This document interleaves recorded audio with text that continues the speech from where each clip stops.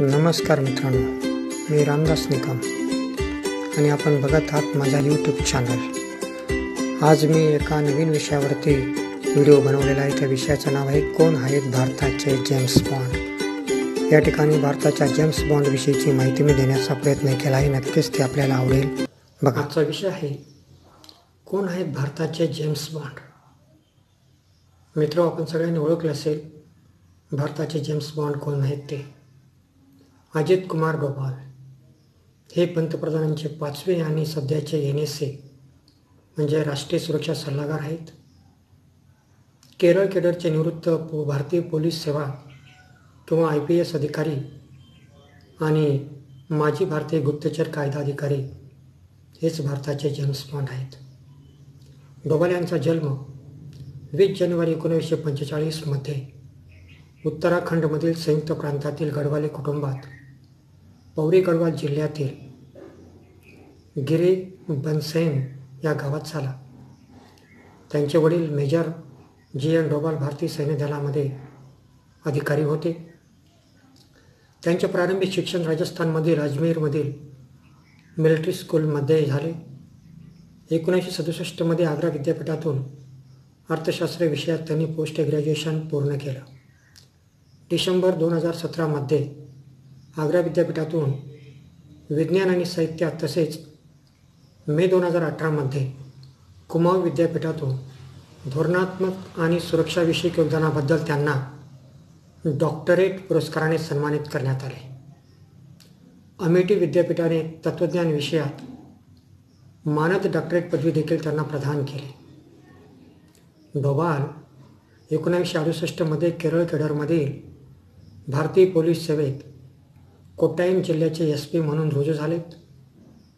त्यांनी मिझोरम व पंजाबमधील बंडखोरी विरोधा विरोधी जे कार्य होतं त्या कार्यात सक्रिय सहभाग घेतला.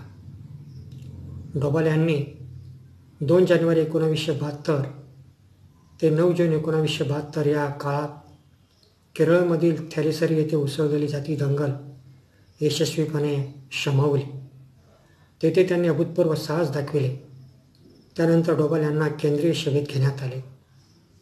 डोभाल हे एकोणावीसशे नव्याण्णवमध्ये अपहरण करण्यात आलेल्या ऐंशी एकशे चौऱ्याऐंशी या भारतीय विमानातील प्रवाशांच्या सुटकेसाठी वाटाघाटी करणारे जे काही तीन जण होते त्यांच्यापैकी ते एक होते. असामान्य बाब ही की एकोणावीसशे एकाहत्तर ते एकोणावीसशे नव्याण्णव या काळात भारतीय विमान कंपन्यांच्या सर्व पंधरा अपहरण थांबविण्यांमध्ये सामील होण्याचा बहुमान अजित डोवाल यांच्याकडे आहे. त्यांनी एक दशकापेक्षा जास्त काळ आय बीच्या ऑपरेशन्स शाखेत काम केलं. आय बी म्हणजे इंटेलिजन्स ब्युरो. मॅक म्हणजे मल्टी एजन्सी सेंटर. तसेच joint task force of intelligence. याचे ते अध्यक्ष होते. सिक्कीमचे भारतात विलिनीकरण करण्यासाठी गुप्तचर म्हणून अजय डोभाल यांनी प्रमुख भूमिका बजावली. भारताचे तिसरे N A N S A M K Narayanan यांच्या मार्गदर्शनाखाली थोड्या कालावधीकरिता दहशतवाद उदिरी पथकात पथकाची तयारी करण्याकरिता डोभाल यांना प्रशिक्षित करण्यात आले. जानेवारी दोन हजार पाचमध्ये आय बीचे संचालक म्हणून डोभाल सेवानिवृत्त झाले. डिसेंबर दोन हजार नऊमध्ये डोभाल विवेकानंद केंद्राचे संस्थापक संचालक बनलेत. हे एक पब्लिक पॉलिसी थिंक टँक आहे. डोभाल हे भारतातील राष्ट्रीय सुरक्षेच्या व्याख्यानात सक्रियपणे सहभागी होतात. दोन हजार नऊ ते दोन हजार अकरामध्ये त्यांनी Indian black money abroad in secret banks and tax havens यावर दोन लेख लिहिले आहेत. भाजपने तयार केलेल्या टास्क फोर्समध्ये सुद्धा ते सहभागी आहेत. अलीकडच्या काळात त्यांनी I I S S London capital hill Washington D C Australia India institute Melbourne university national defence college new Delhi इत्यादी ठिकाणी व्याख्याने दिली आहेत. डोबाल यांनी जगातील प्रमुख प्रस्थापित आणि उदयनिक शक्तींमध्ये सहकार्याची वाढती गरज असल्याचे नमूद करून जागतिक कार्यक्रमांमध्ये आंतरराष्ट्रीय स्तरावर भाष्य केलेले आहेत. तीस मे दोन हजार चौदाला पाचवे एन एस ए म्हणून त्यांनी कार्यभार स्वीकारला. जून दोन हजार चौदामध्ये इराक इराकच्या तिक्रीट शहरामध्ये किंवा तेथील रुग्णालयात अडकलेल्या शेहेचाळीस भारतीय परिचारिका यांना सुरक्षितपणे भारतात आणण्यासाठीची जबाबदारी त्यांच्यावरती घेण्यात आली. त्यासाठी त्यांनी पंचवीस जून दोन हजार चौदाला ते स्वतः गुप्तपणे किंवा गुप्त मिशनवरती इराकला गेलेत. यानंतर गबाल यांनी लष्कर प्रमुख दलबीर सिंग सुहाग यांच्यासमवेत म्यानमारच्या सीमेलगत लष्करी अभियान यशस्वी करून N C C N K म्हणजेच national socialist council of Nagaland येथे ह्या ह्या बंडखोरांना जवळपास वीस ते अडतीस बंडखोरांना लष्करी कारवाईत ठार मारलं. याआधी डोबाल यांनी पाकिस्तानामध्ये गुप्तहेर म्हणून सात वर्षे सक्रियपणे सेवा देत अतिरेक्यांविषयीची माहिती गोळा केली. एक वर्ष सक्रिय एजंट म्हणून त्यांनी काम केलं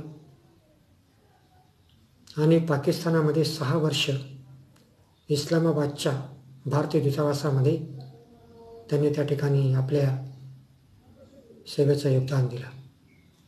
एकोणीसशे चौऱ्याऐंशीमध्ये खलिस्तानी अतिरेकी चळवळीबाबत ऑपरेशन ब्लू स्टार राबविण्यात आलं आणि ही कार्यवाही करण्या कार्यवाही करण्याकरिता अजय डोभाल यांनी खूप मोठी भूमिका बजावली. अक्षरशः पाकिस्तानी हस्तक बनून सुवर्ण मंदिरात लपलेल्या खलिस्तानी दहशतवाद्यांपर्यंत ते पोचले त्यांच्याकडनं पाकिस्तानी हस्तक म्हणून माहिती काढली. आणि त्या ठिकाणी ही ब्लू ही कार्यवाही यशस्वी करण्यासाठी भारतीय लष्कराला खूप मदत केली. एकोणीसशे नव्वदमध्ये काश्मीरमध्ये कट्टर अतिरेकी कारवाया यांचा बिमोड करण्यासाठी भारतीय लष्कराला त्यांनी कणकर होण्याची खात्री दिली. तीन जून एकोणावी तीन जून दोन हजार एकोणावीसमध्ये डोबाल यांनी आणखी पाच वर्ष